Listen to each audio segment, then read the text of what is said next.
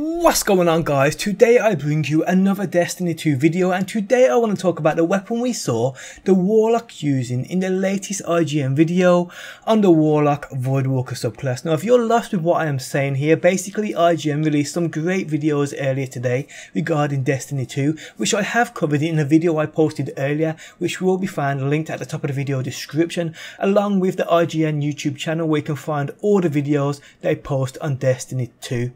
Within the video, we talk about Blink being back, Luck in the Chamber being on sidearms, and Titan skating returning, and much, much more. Definitely worth your time checking out. And before we get into this video, guys, if you do enjoy it, leaving a like is much appreciated on my behalf. Can we reach 3,000 likes? That'd be absolutely epic if we could. Okay, so the weapon in today's video we first saw within the IGN interview with Luke Smith and Mark Noseworthy on Bungie's vision for Destiny 2. At the very start of that video, we saw footage of a Guardian within Foul Winter's Peak. The weapon he was holding drew the attention of many many people for the simple fact of design as well as Ironsight's camo and so forth.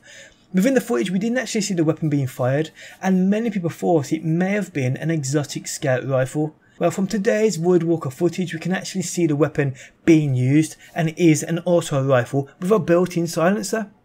From the first moment we saw this weapon, many people including myself thought it was an exotic weapon, and to be honest, I do even more so now.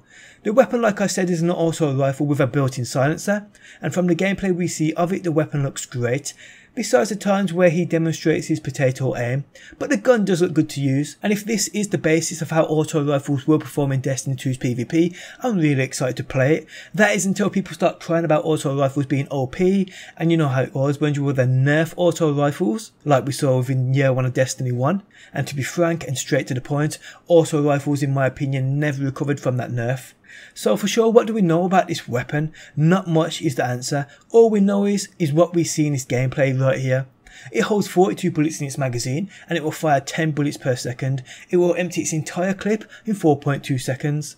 It does 13 to the body and 17 to the head. The range fall off though is quite apparent too, seen on screen now. Distance before we start seeing a drop in numbers on damage over what I would say is a short length is kinda major. The stability from what we see looks decent enough. To be honest though, I don't think we will see that perfect max stability rolled auto rifle within the game. I just don't think they will exist in a game Bungie is trying to make super balanced, but we will see.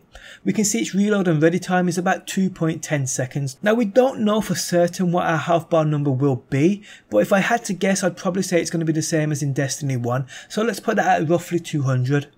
So damage per second this weapon can deliver will be 170 to the head and 130 to the body, capable of killing an enemy in roughly 1.2 seconds, but to be honest I see that very very unlikely to happen on a moving target, I really do. Now what I like most about this weapon are the iron sights and that built-in silencer. It makes the weapon sound so so good. Take a listen.